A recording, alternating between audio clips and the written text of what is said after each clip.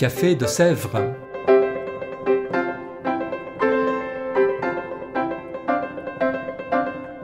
Au Café de Sèvres, on discute philosophie et théologie.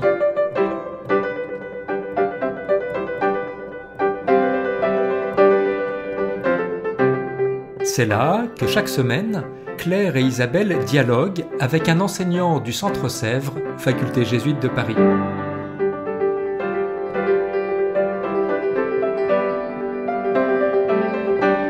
L'émission d'aujourd'hui est animée par Isabelle de la Garandrie.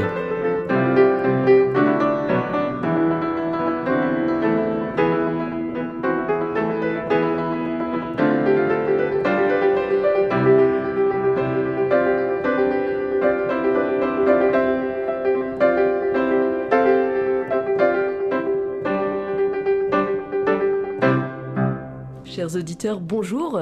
Aujourd'hui, un podcast un peu particulier puisque nous n'allons pas parler d'un cours, mais d'une soirée autour de Karl Rahner et pour laquelle nous recevons aujourd'hui Christophe Théobald. Christophe Théobald, bonjour. Bonjour Isabelle. Christophe Théobald, vous êtes jésuite, vous êtes professeur ici, vous êtes docteur en théologie. Euh, on ne pourrait pas citer tous les ouvrages que vous avez publiés pour un podcast aussi court, mais ne serait-ce que cette année 2021, vous avez publié au CERF Le courage de penser l'avenir, études écuméniques de théologie fondamentale et ecclésiologique, d'une part, et une publication par ailleurs peut-être plus grand public, et Le peuple soif, lettre à ceux et celles et ceux qui ne sont pas indifférents à l'avenir de la tradition chrétienne. Et puis, vous êtes, parmi vos responsabilités, dans la commission théologique de préparation du prochain synode. Nous vous recevons donc pour une soirée qui est consacrée ici au Centre Sèvres, intitulée Karl Rahner, un théologien pour aujourd'hui et demain. Mais commençons peut-être d'abord par parler de Karl Rahner hier. Est-ce que vous pourriez nous le présenter en quelques mots pour nos auditeurs qui ne connaîtraient seulement que son nom? Alors Karl Rahner, c'est un jésuite et un théologien allemand. Il est né en 1904 à Fribourg-en-Brisgau et mort en 1984 à Innsbruck, ayant tout juste achevé ses 80 ans. Alors il est entré jeune dans la Compagnie de Jésus en 1922 et il a fait, ça c'est un peu connu pour certains, ses études de philosophie à Fribourg-en-Brisgau avec Martin Heidegger entre 34 et 36. Alors, dans sa vie euh, d'intellectuel, de théologien, on peut distinguer plusieurs étapes. Une première étape comme professeur de théologie à l'université jésuite d'Innsbruck et au début de la Deuxième Guerre mondiale à Vienne, en Autriche, où les jésuites se sont retirés en clandestinité après la fermeture d'Innsbruck par les nazis. Rahner publie alors ses grandes œuvres philosophico-théologiques, Auditeur de la parole, Esprit dans le monde, et son magnifique petit opuscule sur la prière, Parole dans le silence.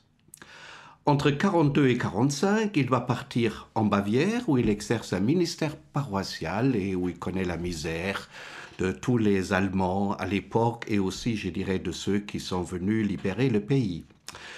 Une deuxième période va alors de 49, 1949 à 1964, 5. C'est la période où s'affirment les paramètres essentiels de sa théologie et surtout sa théologie de l'expérience, de la grâce, sa théologie trinitaire, sa christologie, son ecclésiologie, mais il intervient aussi sur beaucoup de questions très concrètes qui préoccupent les gens après la Deuxième Guerre mondiale. Alors cette période se termine par sa participation comme expert au Concile Vatican II, on va peut-être en parler. Mais déjà, il perçoit qu'un nouveau monde est en train de naître. Les sciences et les technologies interviennent de plus en plus dans nos sociétés et les transforment progressivement.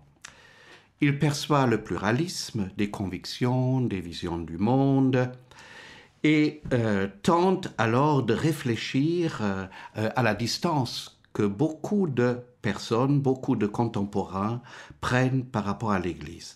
Et donc il travaille en vue de la réforme de l'Église. Alors la troisième période commence tout de suite après le Concile.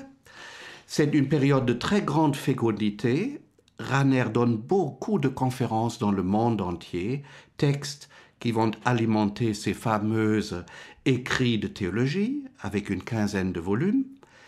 Il initie le manuel de théologie pratique, précisément dans la suite de la Constitution pastorale de Vatican II, et il publie son célèbre traité fondamental en 1976. Il est présent à l'université, d'abord à Munich, à Münster, ensuite. Il participe à la revue Concilium et se retrouve membre de la Commission théologique internationale à Rome qui vient d'être fondée. Alors il y a une quatrième et dernière étape, on peut appeler cette étape recueillement, entre 1974 et 1984. Raner continue à écrire sur des questions de société, sur la spiritualité ignatienne, sur la compagnie, par exemple sa fameuse lettre d'Ignace de Loyola aux jésuites d'aujourd'hui, et il propose encore de nouvelles équisses de théologie euh, systématique. C'est donc une vie d'une incroyable fécondité euh, spirituelle et théologique. Merci beaucoup de ce parcours éclairant de la vie de, de Karl Rahner.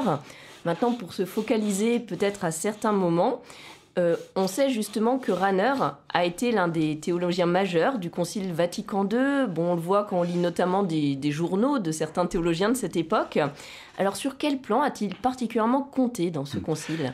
Alors, il faut d'abord dire, j'ai dit, il y a un contraste énorme de ce point de vue-là entre lui et quelqu'un qu'on connaît bien en France, le Père Congar.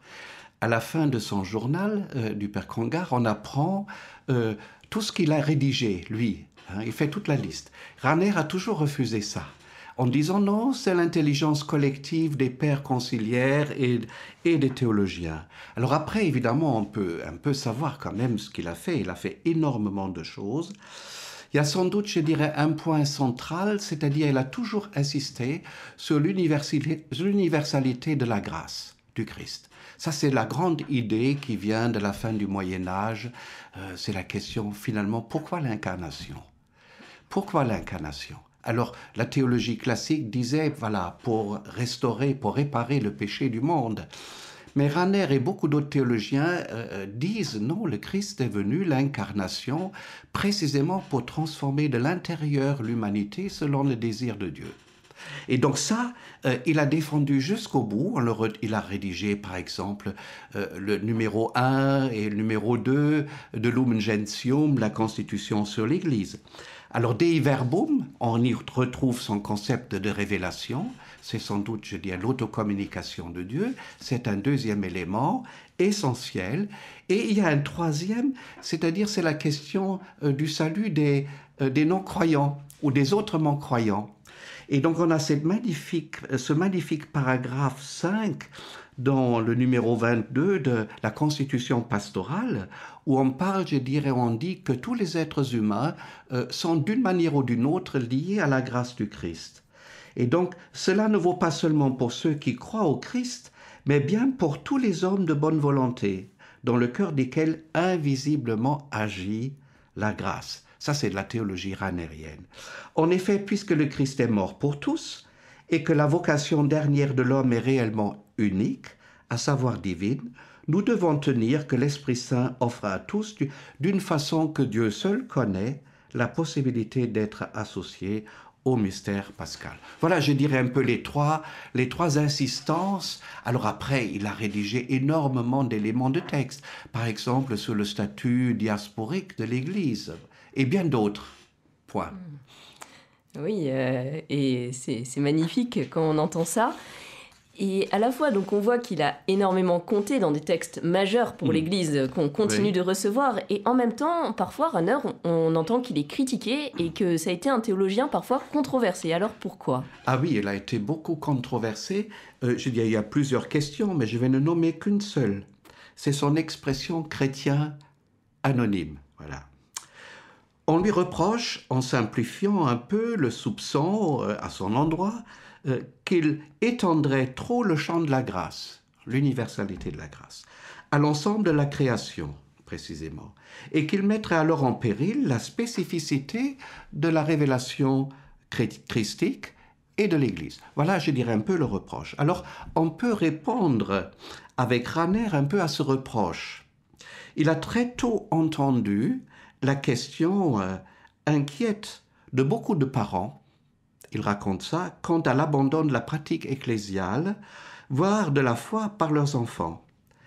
Et il a posé très sérieusement cette question, réfléchissant euh, au problème du salut. Il montre dans les par exemple, on le retrouve dans le texte de Gaudium et Spes que j'ai cité, euh, que finalement, je dirais que cette, cette expression qu'il reconnaît un peu comme maladroite, chrétien anonyme, veut quand même dire quelque chose. C'est-à-dire, évidemment, il reconnaît qu'être chrétien, euh, faire partie de l'Église, ça suppose une confession explicite de la foi, bien sûr. Mais cette euh, expression par la bouche ne garantit pas nécessairement le salut. Et là, ça, on retrouve un autre endroit précisément dans la Constitution euh, euh, sur l'Église. cette formule de Saint Augustin que Raner aime bien, qui a été repris, on peut en être de corps de l'Église sans en être de cœur. Ce qui veut dire aussi qu'on peut en être de cœur sans en être de corps précisément. Ce que la Constitution montre, d'ailleurs, se référant à la conscience finalement. Alors moi, je pense toujours, pour comprendre un peu ça, je pense toujours un peu à l'histoire de Jeanne d'Arc. Voilà. Jeanne d'Arc, n'est-ce pas, dans le procès, on lui pose la question Êtes-vous en état de grâce? Voilà, C'est la question ranérienne, n'est-ce pas Êtes-vous en état de grâce? Comment elle répond? Euh, Si j'y suis, que Dieu m'y garde. Si je ne suis pas, qu'il m'y mette. Et donc, Raner insiste au fond sur ce désir, sur cette inquiétude euh, du salut, dont il dit euh, que cette inquiétude habite finalement tout être humain.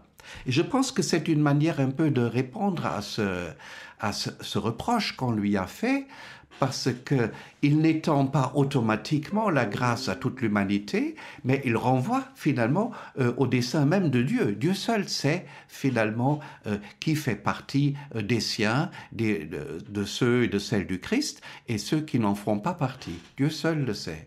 C'est laisser toute sa place à Dieu.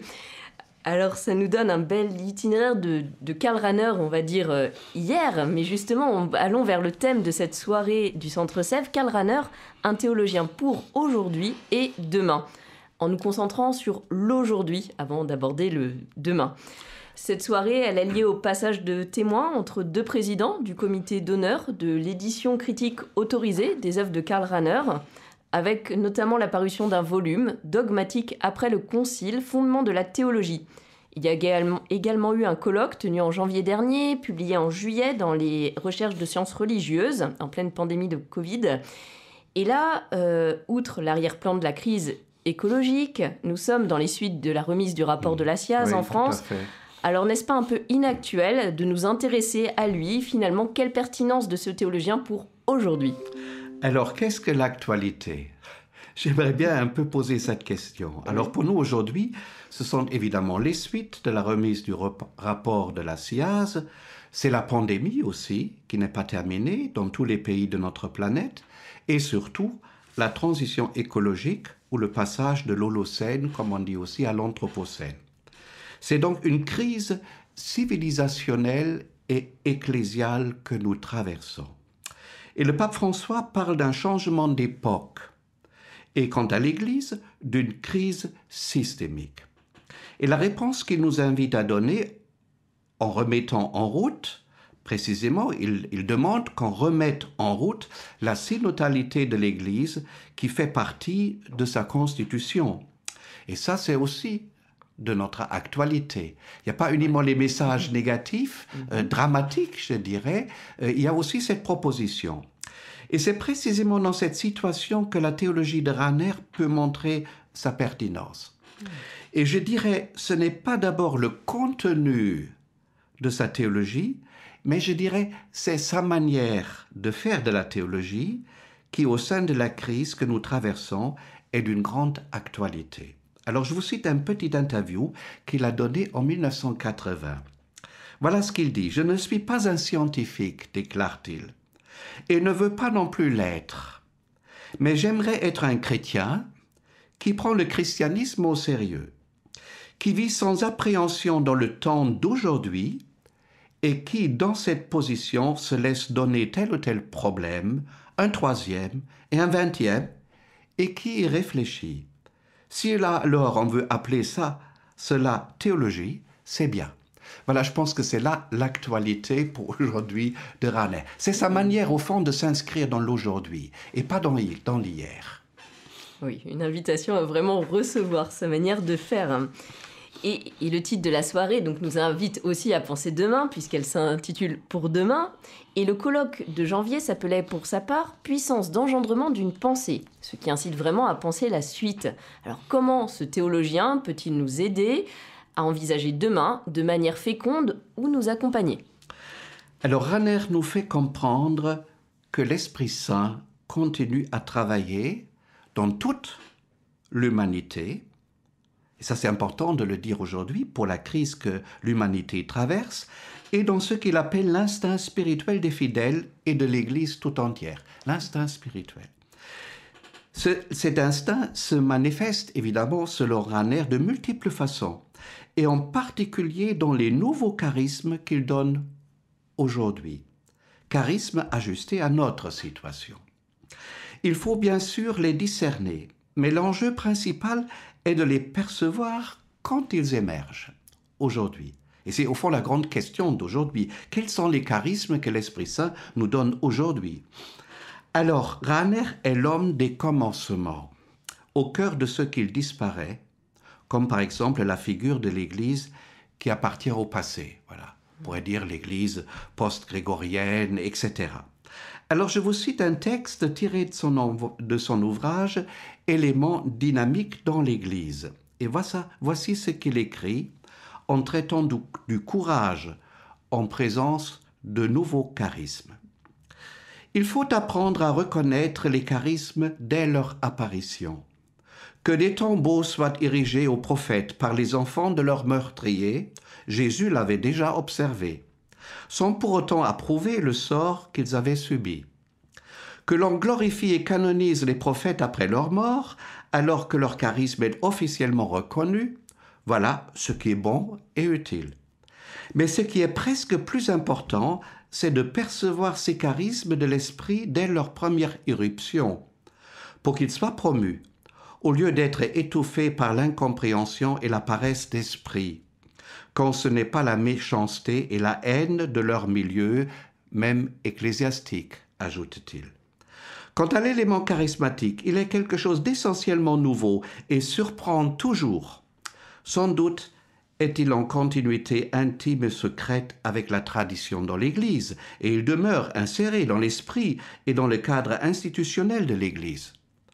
Il n'en reste pas moins quelque chose de neuf et de non déductible que tout cela puisse coexister dans l'ensemble permanent de l'Église, on ne le peut pas le percevoir au premier coup d'œil. Voilà ce texte, vous voyez, qui date des années 50. C'est absolument incroyable. Alors, il me semble que ce texte est écrit justement pour demain. Hmm. Pour demain. Parce que euh, il nous invite, je dirais, non pas, je dirais, à vivre avec le regret d'un passé qui nous pèse beaucoup, évidemment, il faut reconnaître la crise que nous traversons, mais c'est l'invitation aussi aux théologiens, théologiennes, de discerner finalement ce qui est en train de naître aujourd'hui pour demain. Sacrée responsabilité. Ah, une sacrée responsabilité, oui. Alors, vous avez déjà euh, cité euh, Ranner pour nous en, nous en faire goûter un petit peu la saveur, mais pour quelqu'un qui n'y connaîtrait vraiment rien et qui souhaiterait découvrir sa pensée, quel livre lui conseilleriez-vous et pourquoi? Alors, j'ai deux petites idées. Dire, je pense d'abord à un petit livre qui date de 67 mhm. et qui est très bien traduit, Vivre et croire aujourd'hui. Alors ça, c'est euh, un petit livre de Raner tout à fait inattendu où il décrit la vie quotidienne. Hein. les choses les plus simples de la vie. Dormir, se réveiller, marcher, manger, vous voyez tous ces, gestes élémentaires, ces petits fragments dont il dit, qui sont chargés euh, déjà euh, d'éternité. Et donc il s'agit au fond, selon l'adage de Saint Bonaventure et d'Ignace, il s'agit d'apprendre à trouver Dieu en toutes choses. Et donc c'est ça qu'il expose dans son livre, et on y trouve toute la, la théologie de Raner, de manière très simple et spirituelle. Alors un deuxième petit livre, Expérience d'une théologie catholique, traduit par Raymond Mingus. Euh, on, le retrouve à Carré Script, Paris, 1985. Ça a été publié juste un an après sa mort. Et on retrouve une étonnante conférence de Raner euh, sur euh, ce qu'il croit. Comment il, on peut dire aujourd'hui, je crois en la vie éternelle. Il est à la veille de sa mort, c'est la fête de ses 80 ans, et il fait une sorte de relecture très simple de toute son existence de croyant, de jésuite et de théologien. Merci, ça doit pouvoir donner à un certain nombre de personnes qui ont peur de ce monstre de la théologie envie d'aller un petit peu plus loin, de se dire ah, que c'est souvent beaucoup plus simple qu'on pense. Je dis un peu une langue, il faut un peu s'y habituer. Hmm. Mais on en profite et on trouve des fruits énormes si on s'y met un peu. Hmm. Et en, guise de mot de la fin, puisque ce podcast touche à sa fin, est-ce que vous auriez une citation ou une idée de Karl Rahner qui vous est particulièrement chère ou qui compte dans votre propre pensée théologique ah, Je dirais pour moi, ce qui compte peut-être le plus, c'est au fond euh, cette invitation que, que je vous ai lue tout à l'heure, que j'ai découvert un jour, c'est-à-dire de discerner ce qui est en train de naître. Hmm.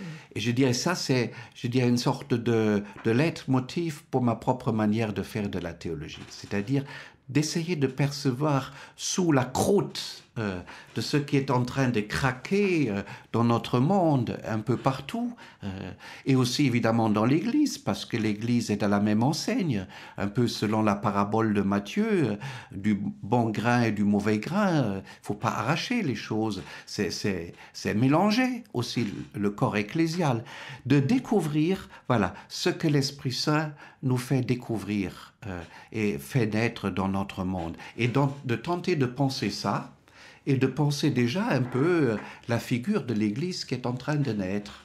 D'accord. Eh bien, merci beaucoup de cette invitation et puis de, cet entretien. Et quant à nos auditeurs, eh bien, bonne écoute et nous nous retrouvons bientôt pour un prochain épisode du Café de Sèvres. Au revoir. Au revoir.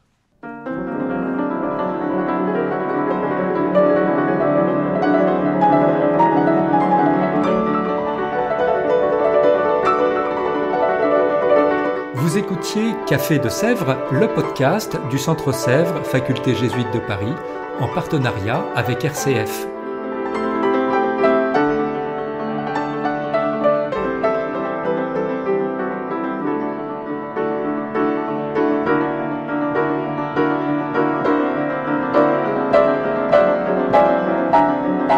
Pour ne rater aucun épisode, abonnez-vous sur votre application préférée Spotify, Deezer, Apple Podcast ou Google Podcast.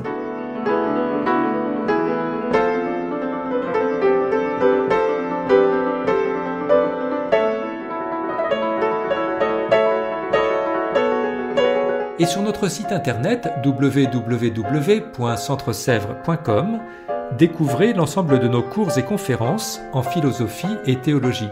À bientôt!